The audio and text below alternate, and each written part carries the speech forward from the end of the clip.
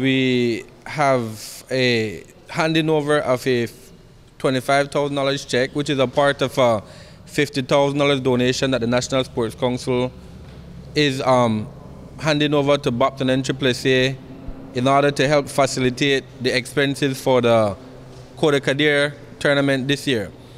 The age range for this year's CODICADER falls under the jurisdiction of NAAA and I believe it's for the first time that the Sports Council is making such a financial contribution to NAAA. When I was in high school and an athlete, um, and we had to represent Belize, we as students had to go out and solicit funds in order to represent the country.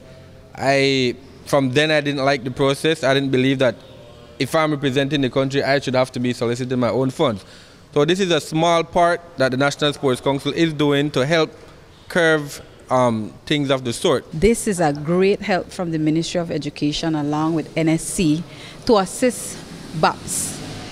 We have a total of 180 plus students that will be flying to Panama. I must say that we are flying out our students. Usually uh, we would have them take the bus and have to get to the point very tired or the country um, tired.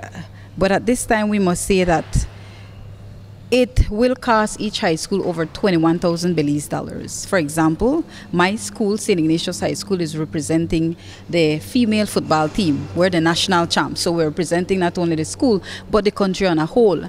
And uh, I must say that every little money that is being contributed to each of our high schools, our athletes, both female and male students representing our schools and, and of course the country is very much appreciated. It is very difficult to get funding.